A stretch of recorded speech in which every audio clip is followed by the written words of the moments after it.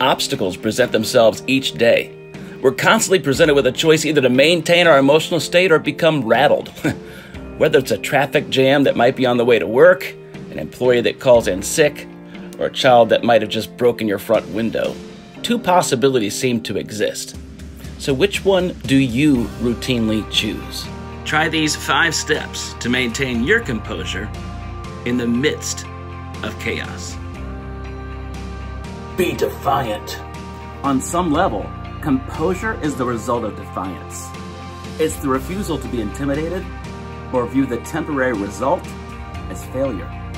Um, take responsibility. Something powerful happens when you choose to take responsibility for a situation. You have the power to change things. When you have power, you feel less stress and a whole lot less worry. Be present. In times of turmoil, keep focused on the current task. Stay present in the moment. Keep your mind on the work instead of the possible negative outcomes. Hey, to stay present when your mind wanders, focus on the senses. What do you hear, smell, taste, feel, experience? Those are things you can actually do. Breathe, breathe in, breathe out. One thing. Unsuccessful people are masters at focusing on the negatives, the problems, the issues at hand they become consumed with negativity. Focus on the solutions.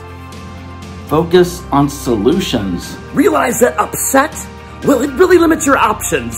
So fear and anxiety, they, they limit your ability to see all your options. The most elegant and often simple solutions just go right by you. You're really at your best when you're at peace. I can't wait to spend time with you tomorrow because we're going to dig into another topic here as we deal with overcoming obstacles. We're going to talk about objectivity. See you tomorrow.